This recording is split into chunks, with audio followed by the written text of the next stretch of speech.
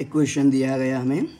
Compound है compound में जो कार्बन हाइड्रोजन बॉन्ड है, वो एक्स वाई और जेड थ्रू हमें इंडिकेट किया है और पूछा गया है arrange the carbon hydrogen bonds X Y and Z in decreasing order of their bond dissociation energies in homolysis तो हमें जो होमोलिसिस प्रोसेस रहेगा इन तीनों बॉन्ड में, उसमें से कौन से वाले बॉन्ड में बॉन्ड ब्रेकिंग थ्रू हमें ज़्यादा एनर्जी देनी पड़ेगी तो हमें उसके डिक्रीजिंग ऑर्डर में अरेंज करना है। तो सबसे पहले हम Z वाला ही देखते हैं।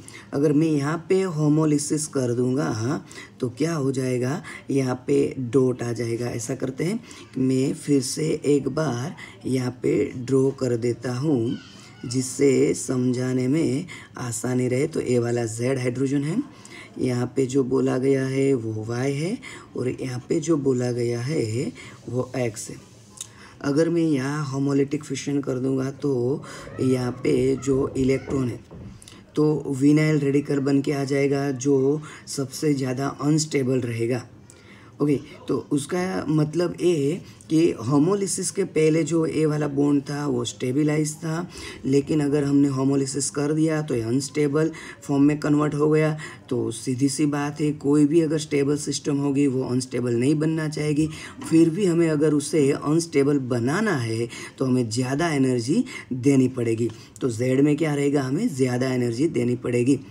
ओके उसके बाद हम वाई वाला देखते हैं। मान लीजिए मैं यहाँ पे होमोलिसिस कर दूँगा तो यहाँ पे इलेक्ट्रॉन आ जाएगा। तो हम कह सकते हैं कि हमारे पास एलाइलिक फ्री रेडिकल बन के आ जाएगा, और एलाइलिक रेडिकल फ्री रेडिकल तो स्टेबल रहता है तो ऑब्वियसली है। हम बोल सकते हैं कि होमोलिटिक फिशन से पहले जो कंडीशन थी उसके कंपेयर में होमोलिटिक कंडीशन के बाद जो फॉर्म होता है, वो ज़्यादा स्टेबल रहता है। तो उसका मतलब है ए वाला इजीली टूट जाएगा। अगर इजीली टूट जाएगा तो वाई में हमें एनर्जी कम देनी पड़ेगी इजीली डिसोशिएट हो जाएगा। तो ऑब्वियसली है जेड से जेड वाले बॉन्ड को ब्रेक करने के कंपेयर में वाई वाले बॉन्ड को ज़्यादा एनर्जी नहीं देनी पड़ेगी होमोलिटिक फिशन के लिए। अगर हम एक्स की बात कर लेते हैं, मान लीजिए ए वाला मैंने हाइड्रोजन निकाल दिया तो ये जो फ्री रेडिकल बनता है, वो तो क्या रहेगा? हाइपर कॉन्जुगेशन थ्रू स्टेबल हो जाएगा, क्योंकि यहाँ पे दो हाइड्रोजन है, यहाँ पे दो हाइड्रोजन है तो वो हाइपर कॉन्जुगेशन की वजह से स्टेबल बन पाएगा। तो हम कह सकते हैं तीनों में जेड है जेड मीन्स के जो जेड वाला कार्बन हाइड्रोजन बॉन्ड है, उसका होमोलिटिक फिशन के लिए सबसे ज़्यादा एनर्जी देनी पड़ेगी।